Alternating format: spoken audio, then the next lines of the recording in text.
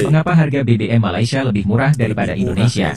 Bensin RON 95 yang dijual di Malaysia ini paling mendekati dengan Pertamax, yang hanya memiliki RON 92. Dan jalan dekat Indonesia ni dia bukan macam Malaysia. Macet kau sebagai orang Malaysia yang tak biasa main horn ya. Eh, tak biasa main horn.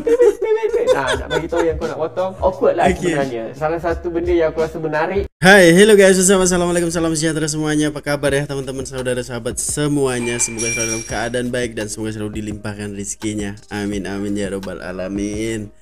Oke okay guys, berbicara mengenai berkendara ya ataupun motoran ataupun nyetir mobilan gitu ya. Itu pasti menyeronokkan guys ya, apalagi kita di tempat yang baru dan vibesnya itu pasti ada gitu loh pasti dapet. Jadi kita akan tengok guys gimana ini perasaan orang Indonesia naik motor di Malaysia dan naik mobil di Malaysia. Apakah dia merasa heran ataupun wow? Sebab kalau diikutkan guys ya jalanan di Indonesia dan di Malaysia itu pasti ada perbezaannya ya. Sebab memang di setiap negara ini ada undang-undangnya sendiri dan ada tata cara kelolanya sendiri dan pasti itu akan menyebabkan keunikan ataupun memberikan pengalaman yang sangat berharga ya bagi pengendara itu tersebut. Jadi korang guys yang mau ke Indonesia bolehlah kalian nanti nak drive di sini ataupun mencoba nyetir mobil di sini ataupun naik motor di sini guys ya. Dan aku pula kalau di Malaysia pun aku suka guys nyetir di sana kan. Jadi kita mendapatkan uh, suasana yang baru ataupun mendapatkan pengalaman yang baru guys ya.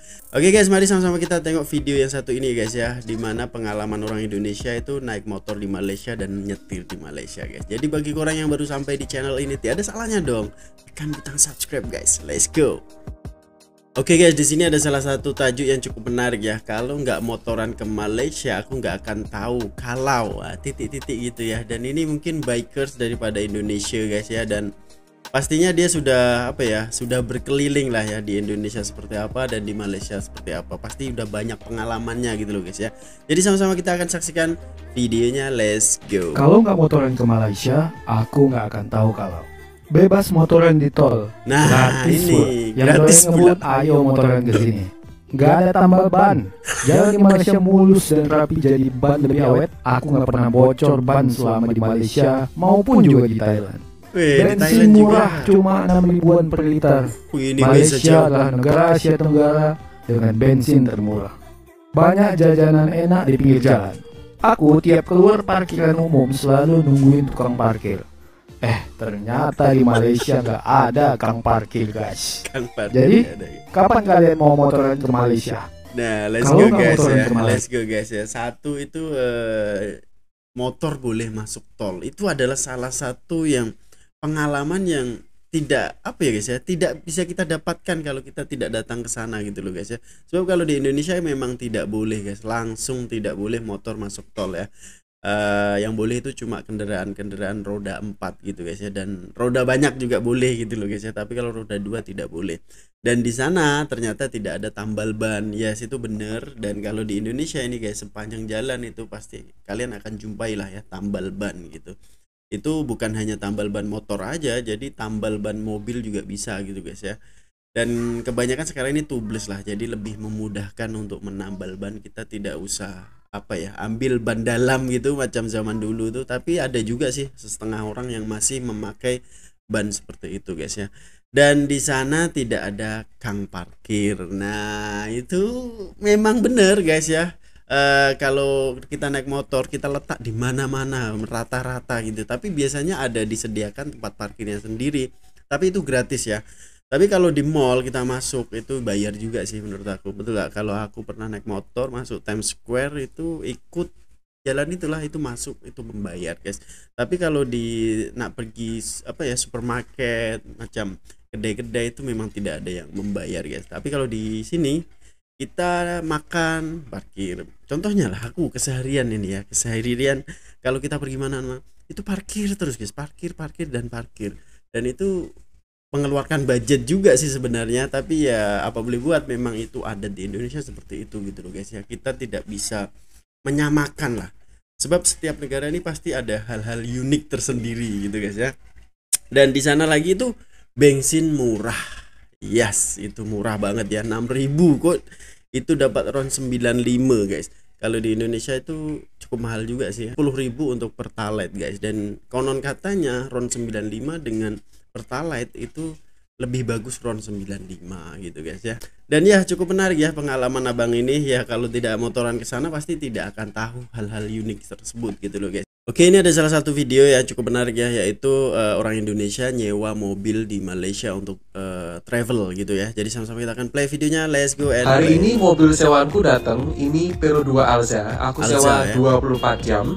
Syaratnya adalah punya international SIM. Oke. Kalian perlu kasih paspor kalian ya, foto, terus kemudian akun sosial media kalian, Mm-mm. plus juga kalian kudu kasih uang jaminan. Sekarang kita Pada lagi uh, di jalan, ini sewa mobil di Traveloka, jadi per 24 jamnya harganya 1.200-an. Nah, ntar kita dipinjemin kartu ini, Touch and Go namanya. Ini bisa kita isi bensin untuk kita mau naik power. Nah, sekarang kita lagi on the way ke gas station. Waktu pas datang mobilnya itu bensinnya tinggal sedikit banget, jadi Biasa akhirnya kita harus isi bensin dulu. Ternyata isi bensin di sini itu harganya lebih murah daripada Indonesia. Ini aku isi Shell yang 95, ternyata cuma 2 ringgitan per liternya. Murah kan? Habis gitu kita mau top up kartu Touch and Go itu kayak kartu e-tol kalau di Indonesia. Jadi bayar tol, bayar parkir pakai kartu Touch and Go. Bisa top up-nya itu kalau nggak salah cuma di 7-Eleven sama di Watson. Oke, kita langsung menuju ke Genting. Oh, Jarak dari Hotel penting ya. Berjaya Times Square Kuala Lumpur ke Genting sekitar satu jaman dan ongkos tolnya pulang pergi sekitar 25 ringgit Malaysia. Nah, kalau kalian lewat tol itu ada macam-macam gate-nya. Ada yang gate RFID, ada yang gate untuk touch and go. Jadi nggak boleh salah gate ya.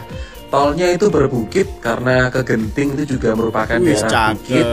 Tapi lancar perjalanannya. Terus kemudian traffic di sini tuh sopan-sopan karena jarang klakson. Iya bener. Sekarang udah sampai nih di Genting, kita mampir dulu ke Genting Premium Outlet.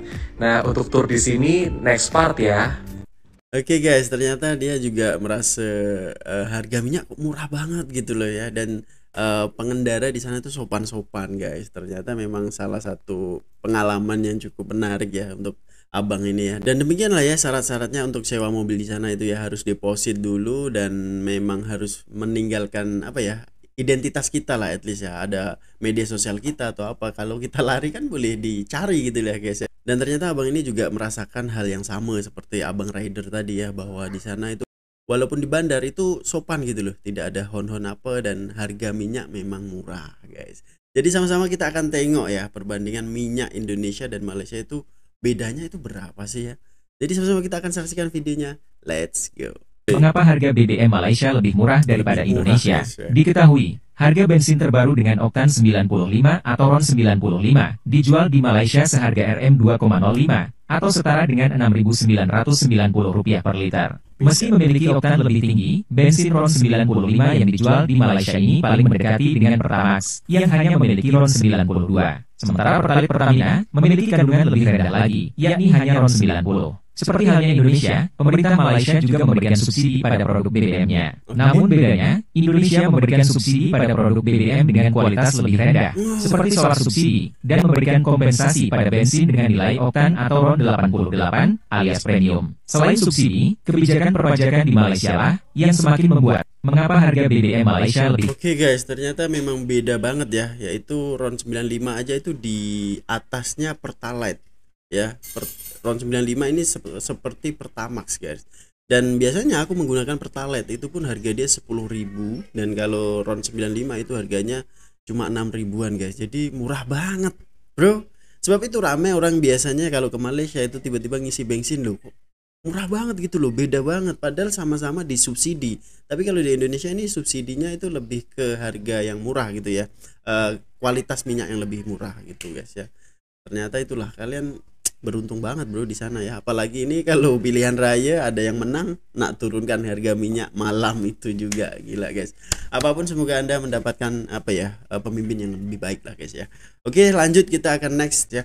Jadi sama-sama kita akan saksikan pula orang Malaysia eh, naik motor di Indonesia. Apa yang dia rasakan pengalaman apa pula yang dialami guys ya oke ini abang Khairul Jamain ya guys ya pasti kalian sudah tahu lah semua ya youtuber ini kondang ini guys ya mari kita play let's go Last two weeks, misi kita orang adalah that time untuk road trip naik motor dari Medan pusing Danau Toba sampai balik-balik ke Gila, airport. Ah, So total dia adalah 750 750 sepanjang kilo. 6 hari. Oh my God, orang tanya enam tu, naik hari, motor tak? coy. Sakit. Dah lama tak naik motor. Dan jalan dekat Indonesia ni dia bukan macam Malaysia. Highway Yes, dekat Malaysia motor boleh lalu tapi dekat Indonesia tak boleh. Nah, Kereta kan. je boleh lalu. Dan Medan beliau. adalah sama dengan kota-kota lain, kota-kota yang ada dekat Indonesia. So Okay. memang crowded, pack, macet. Kau sebagai orang Malaysia yang tak biasa main horn ya. Tak, Eh, nak tak potong biasa bagi main horn.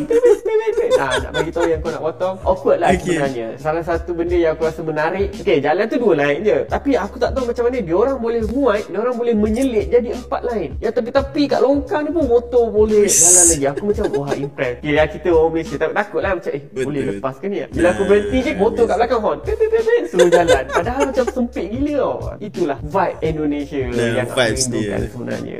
Dan satu benda yang aku perasan, makanan murah, sangat-sangat murah. Aku boleh dapat ayam penyet RM4, RM5, Indomie, ayam pun dalam RM4, RM5. Ya, mamak tak boleh, mamak RM7, RM8 lah.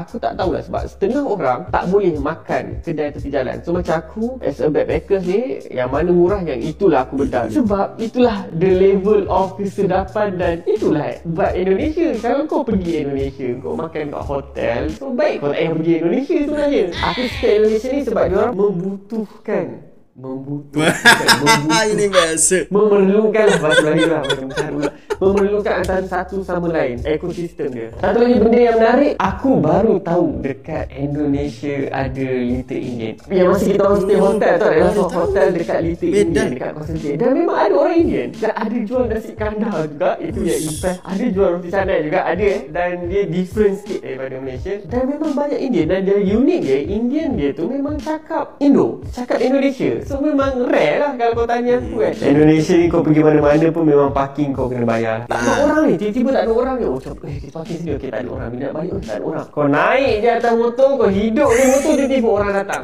Abang parking bang 2000 aku macam wow. Tapi sebenarnya inilah ekosistem ekonomi diorang. Diorang mencipta pekerjaan yang sebenarnya tidak perlu pun tapi mereka memerlukan untuk memenuhi ekosistem antara satu sama lain. Macam parking ke apa apa semua. Kalau kat Malaysia macam eh, tak perlu pun orang jaga sini dah ada orang jaga. Tapi mereka perlu untuk memberi rezeki kepada orang lain. Aku cuma macam okay ini tidak ada orang. Ah, kita sampai satu misi kat Indonesia kita kena parking kat celah-celah yang tak ada orang jaga tapi semua ada orang jaga. Ah, itulah uniknya Indonesia ni. Wonderful Indonesia. Wonderful Indonesia. Oke guys, ini Abang Khairul Jamain ya. Dan dia selalu traveling dan backpackers ya. So pengalaman beliau di Indonesia ini cukup banyak sebab dia hampir merata Indonesia juga eh, pergi guys ya. Dan ini tepatnya dia di Medan dan naik motor itu 750 km gila. Bro sakit buntut aja jelas sakit lah kan dia. Dan itu pengalaman beliau itu eh, cukup ini ya tentang orang parkir dan memang beza banget. Dan vibesnya kalau orang Malaysia naik motor di Indonesia pasti akan rasa apa ya guys ya rasa takut-takut gitulah sebab nak memotong semua itu kan dia jalan dia sempit. Nah seperti yang dijelaskan abang Khairul nih memang bener banget itu real Indonesia gitu loh dan kalau di Malaysia mungkin naik motor lebih sopan gitu lah ya. Dan tidak pernah mendengarkan horn. Tapi kalau di sini kalau kalian nak pilih jalan nih ya contohnya jalan sudah sempit. Apalagi ada lubang situ. Kita nak kono kiri kan nak kono kanan macam itu kita setengah-setengah gitu. Horn udah melambak bro. Di belakang ini udah tantin-tantin gitu guys ya. Itu perbezaannya ya. Dan untuk makanannya katanya di sana itu di Medan lebih murah guys ya. Dapat 4 ringgit kalau di Malaysia mungkin 7 8 ringgit gitu ya. Dan juga eh, tukang parkir nih di mana-mana merata-rata tukang ngamen. Dan itu memang salah satu ekosistem ekonomi gitu loh guys ya. Bener juga apa yang dibilang abang Khairul ini. Tapi kalau di Malaysia memang tak ada lah ya orang ngamen. Tapi aku rasa orang ngamen ini biasanya ada guys. Di kedai makan apalagi di area KL contohnya aku eh, kampung baru dan lain sebagainya eh, kedai-kedai makan gitu dia tapi dia stay di satu tempat gitu lah.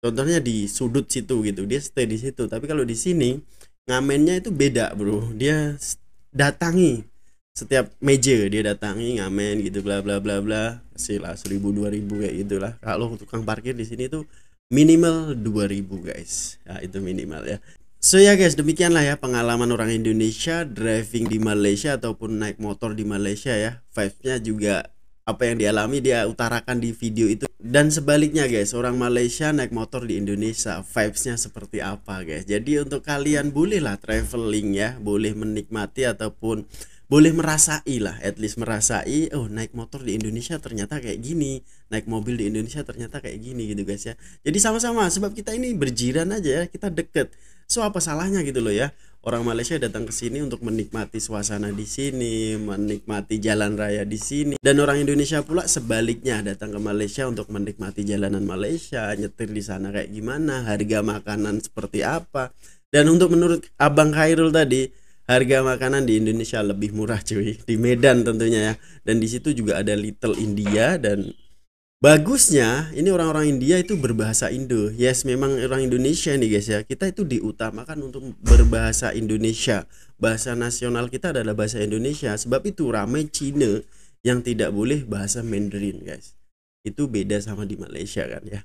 Jadi apa pun thank you guys untuk yang nonton video ini, yang klik video ini menonton sampai habis. Jadi jumpa di next video guys. Untuk orang yang ada referensi ataupun video-video yang menarik untuk kita bahas di channel ini silahkan komen di bawah ataupun bagikan link di Instagram @bangre2019 guys. Apa pun selamat berbahagia selamat berhujung minggu. See you in the next video guys. Assalamualaikum warahmatullahi wabarakatuh. Semoga kalian berbahagia guys. Bye bye